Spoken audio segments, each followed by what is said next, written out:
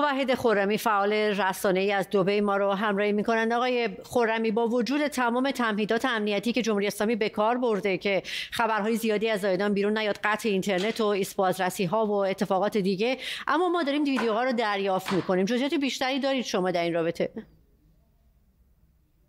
سلام بر شما. بله من تقریبا بهتون بگم زاهدان امنیتی ترین شهر این کره خاکی بوده در این سه روز گذشته تقریبا پنج راه اصلی ورودی و خروجی به زاهدان وجود داره. پانزده ایست بازرسی ایجاد کردن. تمام ماشین های ورودی و خروجی به زاهدان کاملا بررسی و چک می شده در درون خود شهر زاهدان تمام راه های منتهی به مسجد مکی از سه روز پیش مردم رو حتی بازرسی بدنی می کردن و این بسیار عجیبه. من فکر می کنم تاثیر محملات بعضی از نمایندگان ولی فقیه در مورد اینکه این جمعیت زیاد در نماز جمعه مسجد مکی از افغانستان داره وارد میشه.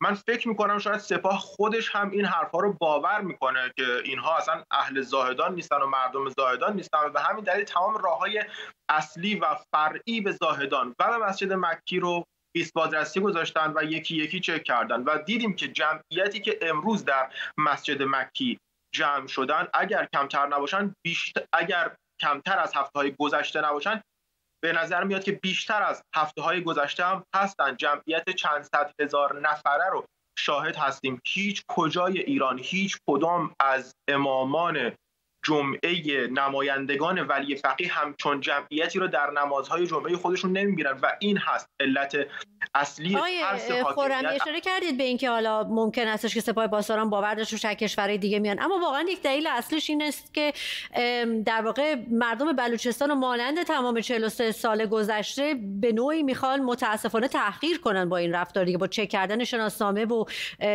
در واقع مدارک شناسایی. درسته؟ سالها این کار رو انجام دادن. سالها اومدن اولا که امنیت منطقه بلوچستان منطقه سیستان بلوچستان در دست سپاه بوده و سالها مردم منطقه سیستان بلوچستان بلوچ های این منطقه سیستانی های این منطقه شهروندان درجه چندم در واقع کشور بودند. اما این بار اومدن حتی اینها رو از در واقع از ایرانی بودن هم ساقط کردن برای اینکه بتونن در واقع جوی رو بدن. برای اینکه بتونن بگن این جمعیت عجیب چند صد هزار نفره جمعیت ایرانی نیستند اما این جمعیت ادامه پیدا کرد گسترش پیدا کرد و شعارهایی مستقیما در, در بر علیه نظام جمهوری اسلامی بر علیه شخص ولی فقیه بعد از نماز جمعه در خیابانهای اطراف مسجد مکی مانند هفته های گذشته اتفاق افتاد. این اعتراضات این شعارها در واقع امتداد سخنان مولانا عبدالحمید هست. اون چیزی که مولانا عبدالحمید در این هفته اشاره کرد بهش اینکه افراد 80 ساله نمی‌تونند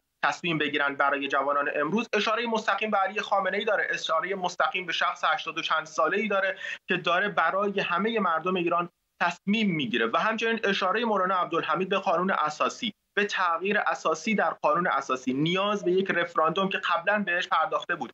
با نظارت بین المللی به این معنا که ما حتی به جمهوری اسلامی برای نظارت و برگزاری یک رفراندوم هم اعتماد نداریم به اون 80 سالها دیگه اعتماد نداریم. و همین شعارها رو می‌بینیم که بعد از نماز جمعه در خیابانهای اطراف مسجد مکی هم به گوش می‌رسه و همین شعارها امتداد سخنان مولانا عبدالحمید هست. یک مسئله مهم دیگه بله. در شهرهای استان سیستان بلوچستان هم همین اتفاق افتاده. یعنی ما حتی در گالیکش مثلا در استان خراسان هم همین وضعیت رو دیدیم. مردم در واقع در حمایت از مولانا گرگیج هم اعتراضات رو برپا کردن. در شهرهایی مثل راست در شهرهایی مثل چابهار در شهرهای اطراف در واقع زاهدان در شهرهای دیگه استان سیستان بلوچستان هم تجمعات اعتراضی رو داریم اما چون مرکزیت و گستردگی و در واقع تجمع جمعیت در زاهدان بیشتر بوده خبرها از زاهدان بله. بسیار بیشتر. آقای به خورمی مطالبات بسیار زیادی همونطور که شما هم اشاره کردید هم از سوی مولوی عبدالحمید شنیده میشه در سخنرانی ها و هم از سوی مردم زاهدان. اما اساسا حالا مخصوصا حالا با همین برچیده شدن فضای امنیتی در شهر اگر بخوایم اشاره بکنیم چقدر در فضای جمهوری اسلامی در چارچوب جمهوری اسلامی اساسا این مطالبات قابل برآورده شدن هست؟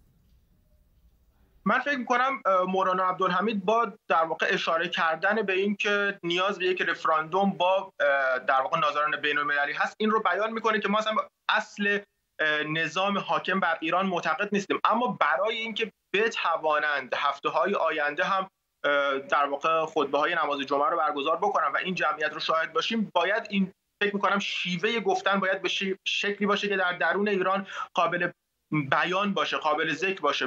مطمئنا جمهوری اسلامی غیر قابل اصلاح هست. بارها و بارها این گفته شده.